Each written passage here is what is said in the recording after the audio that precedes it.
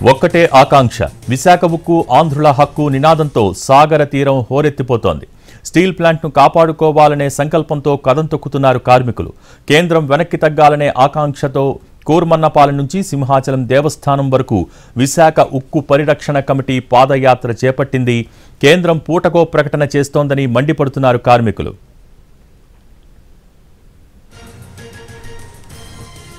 ఒక్కటే ఆకాంక్ష విశాఖ ఉక్కు ఆంధ్రుల హక్కు నినాదంతో సాగర తీరం హోరెత్తిపోతోంది. స్టీల్ ప్లాంట్ను కాపాడుకోవాలనే సంకల్పంతో కదం తొక్కుతున్నారు కార్మికులు. కేంద్రం వెనక్కి తగ్గాలనే ఆకాంక్షతో కూర్మన్నపాలెం నుంచి సింహాచలం దేవస్థానం వరకు విశాఖ ఉక్కు పరిరక్షణ కమిటీ పాదయాత్ర చేపట్టింది. కేంద్రం పూటకో ప్రకటన చేస్తోందని మండిపడుతున్నారు కార్మికులు.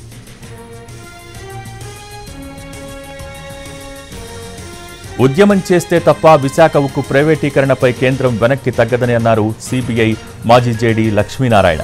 విశాఖ ఉక్కు పరిరక్షణ కమిటీ నిర్వహిస్తున్న పాదయాత్రలో ఆయన పాల్గొన్నారు. కూర్మన్నపాలెం నుంచి సింహాచలం వరకు పాదయాత్ర చేస్తున్నారు మాజీ జేడీ. విశాఖ ఉక్కు పరిశ్రమ ప్రైవేట్ సంస్థల చేతుల్లోకి వెళ్ళకూడదని ప్రభుత్వాలే బిడ్డింగ్లో పాల్గొనాలని అంటున్నారు మాజీ జేడీ.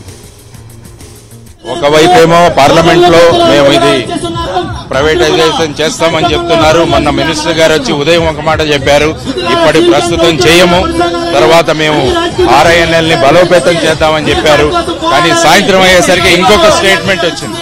కాబట్టి వీటన్నింటినీ చూసుకుంటూ మనం ఉద్యమం చేస్తే తప్ప మనం మనం ఉద్యమం చేస్తే తప్ప ఈ విధమైన మన కోరికలను తీర్చుకోలేమని చెప్పేసి ఈ రోజు కార్మికులు నిర్వాసితులు తర్వాత ఎగ్జిక్యూటివ్స్ కార్మిక సంఘాలు వీరందరూ కలిసి ఆధునిక దేవాలయం నుంచి ఆధ్యాత్మిక దేవాలయం సింహాచలం వరకు వెళదాము.